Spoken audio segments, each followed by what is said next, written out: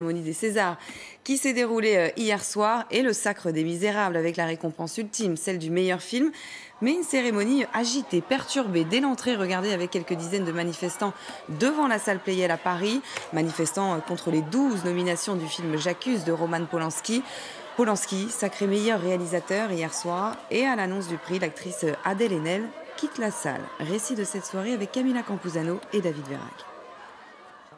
Révoltée, Adèle Haenel quitte la salle. Elle s'écrit « C'est une honte ». Protestation contre ce prix décerné malgré les accusations d'abus sexuels. Roman Polanski pour J'accuse. Même la maîtresse de cérémonie refuse de clore l'événement. Seule explication de Florence Foresti, cette publication sur les réseaux sociaux écœurée. Contexte et ambiance particulière cette année, le ton est donné dès la vidéo d'introduction. La cérémonie des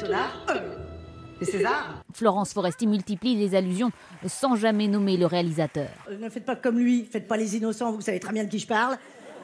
Qu'est-ce qu'on fait avec Katchoum J'ai décidé qu'Hatchoum n'était pas assez grand pour faire de l'ombre au reste de la sélection. Parce que cette 45e cérémonie des Césars, c'est aussi le sacre d'un film social. Les Misérables On est vraiment fiers, très contents. Et on a gagné le César du meilleur Et on a gagné le César du meilleur film.